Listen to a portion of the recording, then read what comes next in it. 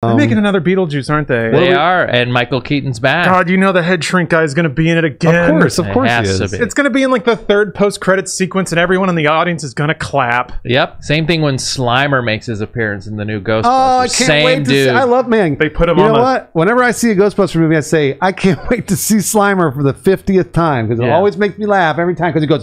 and I always go, ha it's Slimer. the Slimer popcorn bucket. We've got to get our hands. Wait, on. really? Yeah. Which bucket can I fuck? The Dune bucket or the Slimer bucket? Which one makes me come faster? We need to do a race. We got to do a race. We have. To, Yeah, do we do it while we're watching Beetlejuice 2 or while we're watching Dune 2? I don't think I could ever finish anywhere near you. No, I'd have to be alone with a Slimer bucket or in a theater alone, Uh. like Pee Wee Herman.